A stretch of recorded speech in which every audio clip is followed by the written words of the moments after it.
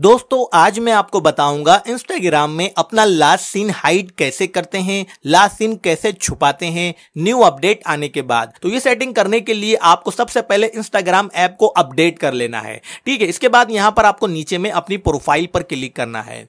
इसके बाद दोस्तों, ऊपर में आपको थ्री लाइन पर क्लिक करना है। इसके बाद दोस्तों, यहाँ पर आपको सेटिंग्स एंड प्राइवेसी पर क्लिक करना है।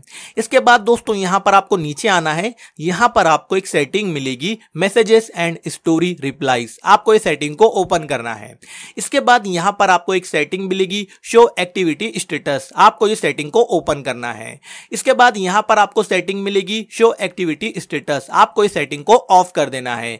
ये सेटिंग ऑफ़ करने के बाद दोस्तों इंस्टाग्राम पर जो आपका लास्ट सीन है, वो हाइड हो जाएगा। किसी को भी आपका लास्ट सीन दिखाई नहीं देगा और आपको जो एक्टिव स्टेटस है, वो भी हाइड हो जाएगा। किसी को पता नहीं चलेगा कि आप इंस्टाग्राम पर ऑनलाइन है। लेकिन यहाँ पर आपको एक बात का ध्यान रखना है, अगर आप अपना लास्ट सीन हाइड करेंगे तो दूसरों का भी लास्ट सीन आपको नहीं दिखेगा। ठीक है? तो अगर आपको ये वीडियो थोड़ा सा भी पसंद आया है तो चैनल को सब्सक्राइब करके बेल आइकन को दबाकर ऑल पर सेट ज़रूर करना।